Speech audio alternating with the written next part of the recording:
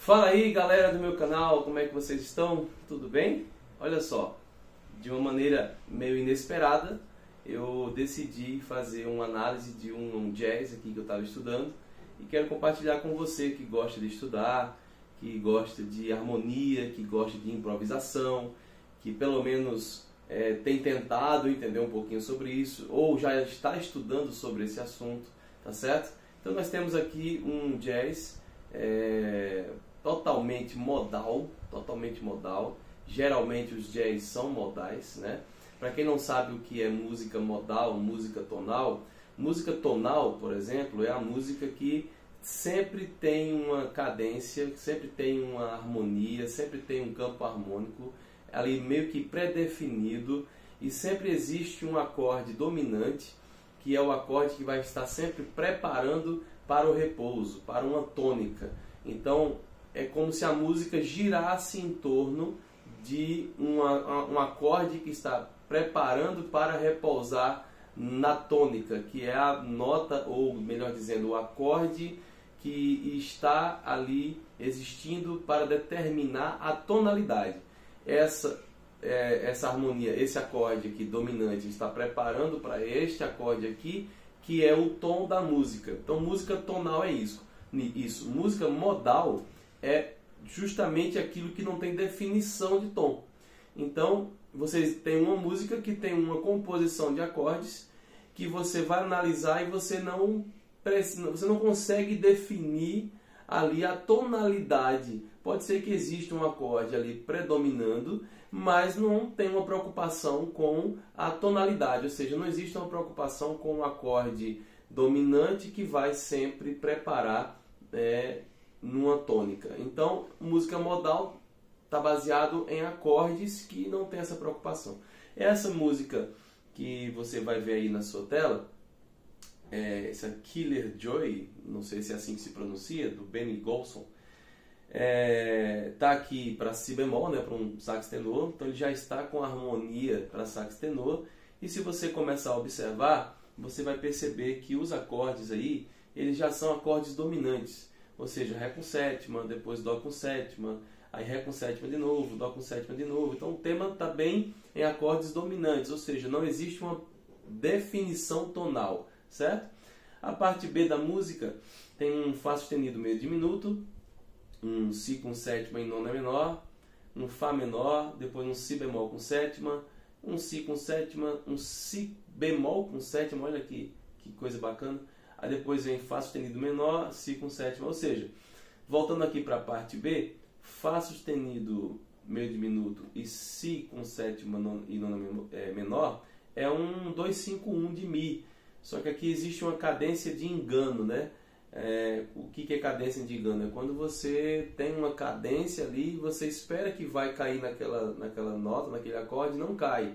Ele já pula para uma outra cadência. Aí, Fá menor, Si bemol com sétima, 2, 5, 1 de Mi bemol, cadência de engano de novo. Depois vem Si com sétima, preparando para um Mi, o Mi não existe, está enganando de novo. Si bemol com sétima, veja, todos os acordes aqui está buscando uma preparação e nunca nunca cai, nunca prepara para cair, nunca, nunca tem resolução. Então, por isso que isso aqui é uma música modal, certo? É... E agora, o que fazer com isso? Né? Quando a gente vai estudar, eu peguei uma, um papelzinho e eu quero mostrar para você. É, eu vou mostrar a foto dele aí na, na sua tela, para aparecer para você aí certinho. É o seguinte, você está vendo aí, ó. É, esse primeiro acorde que aparece na música para solar, você vai pensar sempre em modal, certo? Para pelo menos você ter uma condição é, de improvisação básica. Uma condição de improvisação básica. Você precisa ter é, essa noção de que os acordes eles pertencem a modos. Então aí a gente vai ter que falar de modos gregos agora.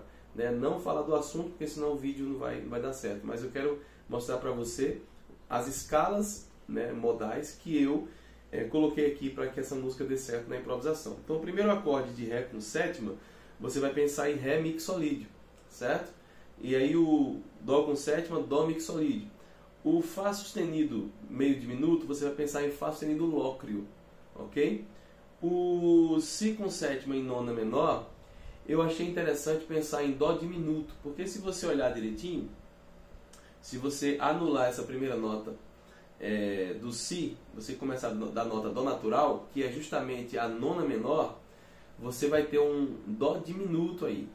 É só colocar o Dó diminuto que vai dar certo, tá? É, uma outra hora a gente pode fazer algo mais direcionado para isso. Aí depois você tem aí o Fá menor, é só pensar no Fá dórico, tá? O Si bemol com sétimo, si bemol, si bemol mixolídio, ok? O Si com sétima, Si mixolídio e o Fá sustenido menor ali, você pode pensar em Fá sustenido dórico, sem problema nenhum.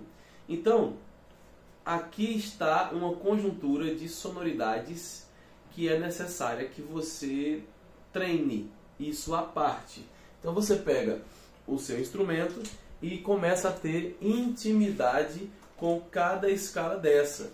Você começa a brincar um pouco e sentir essa sonoridade. É a primeira coisa que você tem que fazer. Então você pega Ré mixolídio. Vamos lá, Ré mixolídio.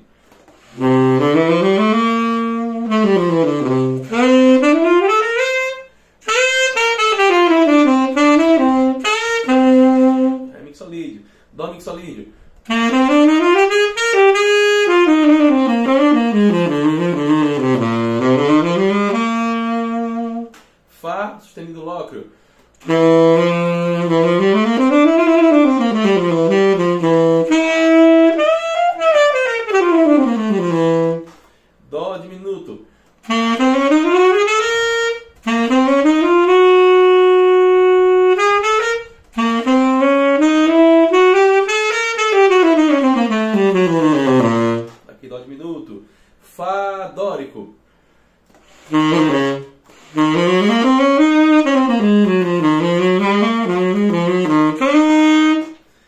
Si bemol mixolídio.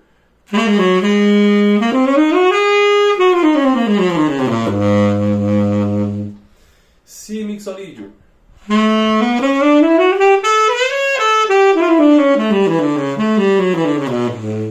E Fá sustenido dórico.